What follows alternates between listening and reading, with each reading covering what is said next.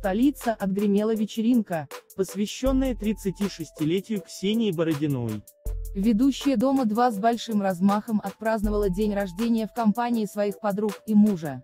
Уже который год подряд Ксения удивляет гостей тематическим праздником.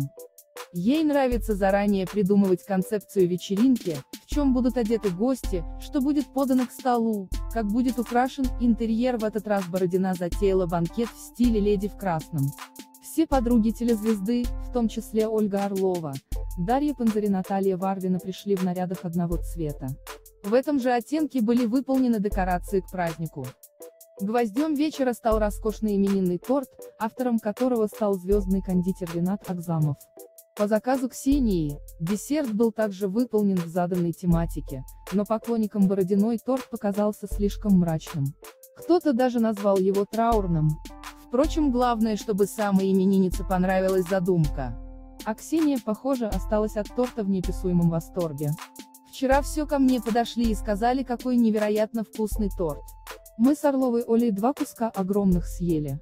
Когда вынесли торт, я глазам своим не поверила, он огромный и супер красивый.